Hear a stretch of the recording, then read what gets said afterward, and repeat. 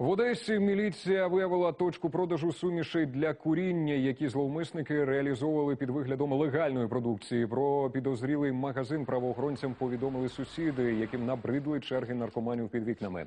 Щоб потрапити всередину крамниці, міліціонерам довелося зрізати металеві двері.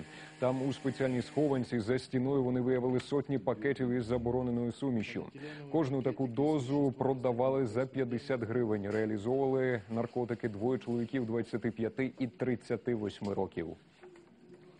было изъято 738 пакетиков курительных смесей и денег на сумму более 12 тысяч гривен, полученных от э, незаконного сбыта курительных смесей.